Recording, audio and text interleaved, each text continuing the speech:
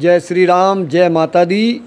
वेदांत भक्ति चैनल पर आप सभी का बहुत बहुत स्वागत है। आज अष्टमी के दिन मैं सभी को बहुत बहुत शुभकामनाएँ देता हूँ और मैं माता से प्रार्थना करता हूँ कि सभी लोग स्वस्थ रहें और खुशी रहें। आपको दशहरे की भी बहुत बहुत शुभकामनाएँ, सभी लोग स्वस्थ रहें और खुश रहें। वेदांत भक्ति चैनल देखते रहें। नमस्कार, मेरा नाम रुद्रांश चतुर्वेदी है। जय माता दी आप सभी को। नारायणम नमस्कृत्यम नरम चैवम नरोत्तम देवीम सरस्वतीम व्यासम ततो जायम मुदीरये। को मेरी तरफ़ से दशहरा की हार्दिक शुभकामनाएँ। बहुत बहुत बधाई।